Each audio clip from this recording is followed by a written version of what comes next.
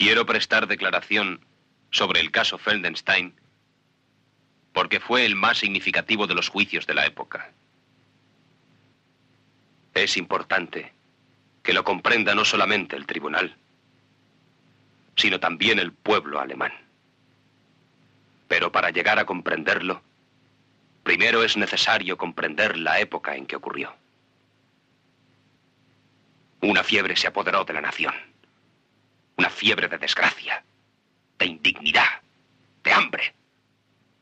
Teníamos una democracia, sí, pero corrompida por elementos que la componían. Por encima de todo, existía miedo. Miedo al presente. Miedo al futuro. Miedo de nuestros vecinos. Miedo de nosotros mismos. Solo cuando hayan comprendido esto, comprenderán lo que significó Hitler para nosotros. Porque entonces él nos dijo, alzad la cabeza, sentid el orgullo de ser alemanes. Entre nosotros hay diablos, comunistas, liberales, judíos, gitanos.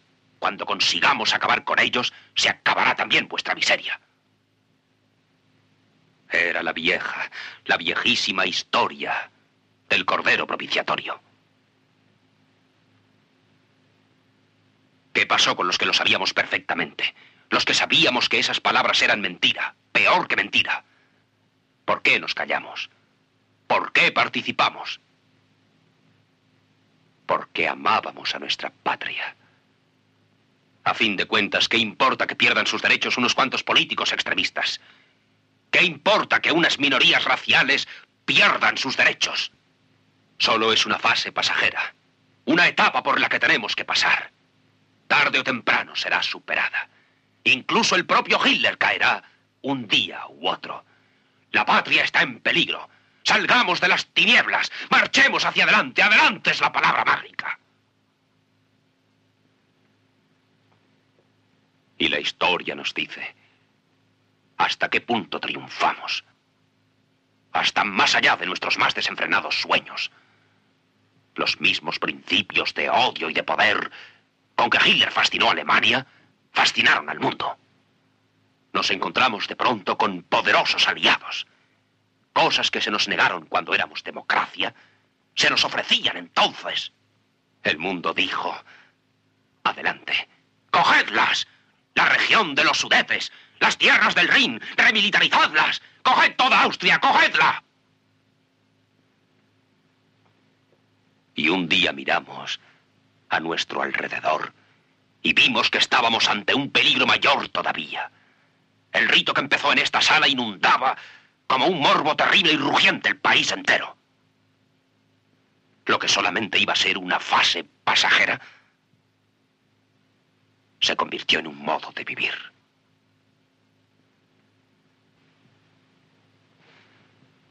Señoría, yo me contentaba con asistir en silencio a este juicio. Me contentaba con cuidar mis rosales. Incluso me contentaba con dejar que mi abogado defendiera mi nombre. Hasta que me di cuenta de que para defenderlo tendría que hacer revivir aquel espectro. Y efectivamente así ha sido. Aquí en esta sala lo ha hecho revivir.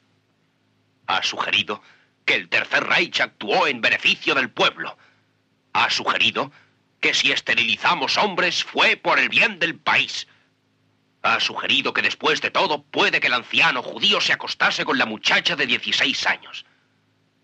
Una vez más, ha sido hecho por amor a la patria. No resulta fácil decir la verdad. Pero si tiene que haber alguna salvación para Alemania, los que sabemos que somos culpables debemos admitirlo, sea cual fuere la pena y la humillación que nos cause.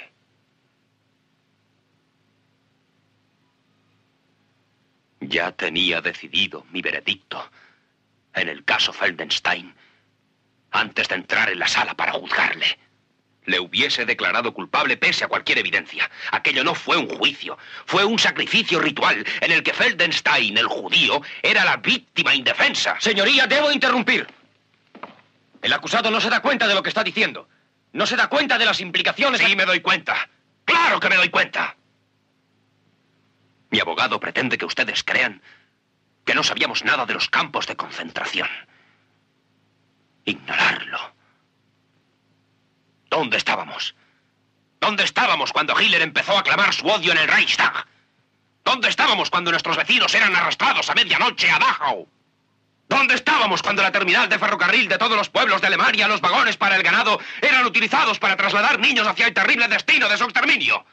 ¿Dónde estábamos cuando nos llamaban a gritos en la noche? ¿Estábamos sordos? ¿Mudos? ¿Ciegos? Señoría, debo protestar. Mi abogado dice que no sabíamos nada del exterminio de millones. Nos justificaría diciendo que solo conocíamos el exterminio de unos cientos. ¿Es que por ventura eso nos hace menos culpables?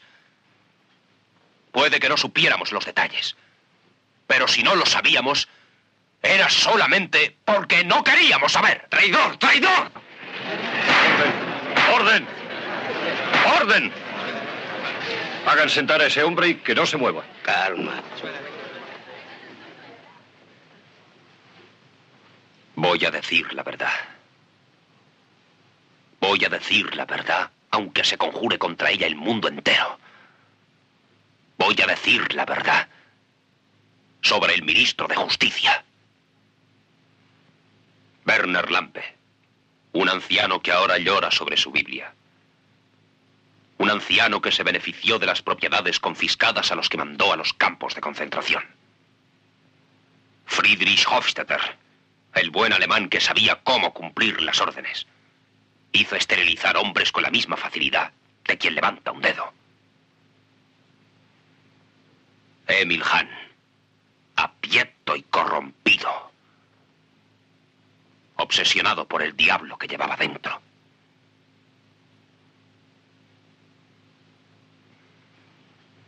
Ernst Janning.